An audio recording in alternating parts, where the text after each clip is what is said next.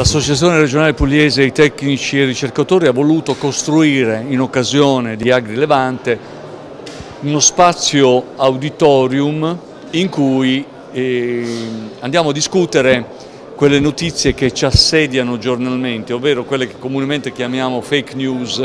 o, eh, o bufale. Abbiamo costruito eh, uno spazio intitolato L'agricoltura al tempo dei social tra disinformazione e sfiducia nella scienza, che è un po' eh, un sentimento eh, molto molto negativo che sta attanagliando la nostra società e che riguarda proprio la scienza, che viene sempre sfiduciata. No? Il parere di uno scienziato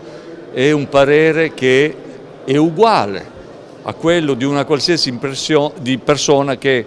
con il suo smartphone si è documentato su una certa notizia e che quindi occupa uno spazio. Allora eh, questo non va bene perché quando si parla di questioni che riguardano, come nel caso dell'agroalimentare, riguarda la vita delle persone, eh, bisogna parlare avendo dei dati, non parlando per sentito dire o perché me l'ha detto il vicino o perché mi sono documentato sul mio smartphone. Diciamo che questo è il filo conduttore della nostra iniziativa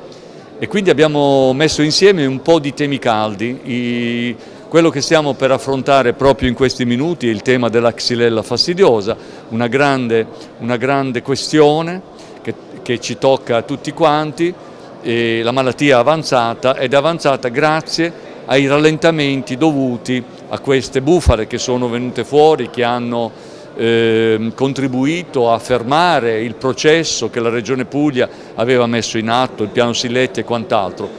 E, e quindi questo è sotto gli occhi di tutti il danno che si è avuto perché la malattia è avanzata di, di un centinaio di chilometri. Detto questo, um, abbiamo affrontato altri problemi molto caldi che riguardano il grano, la vicenda del grano, della pasta, eh, intrisa di, di, di, tante fake news. Eh, abbiamo parlato di glifosate, abbiamo parlato di OGM, ieri un bellissimo incontro su, sugli OGM, fantastico, perché mh, mm, lo scienziato, il, il, professor Roberto De Fezza ha chiarito tanti punti, no? eh, quindi siamo passati dall'icona degli OGM, che è il cibo cosiddetto di Frankenstein, alla eh, dimostrazione su dati certi che gli OGM ci salveranno, salveranno il nostro futuro. No? Quindi eh, lo scopo è stato quello, controbilanciare questa deriva di populismo, di, di aspetti negativi, di sfiducia nella scienza,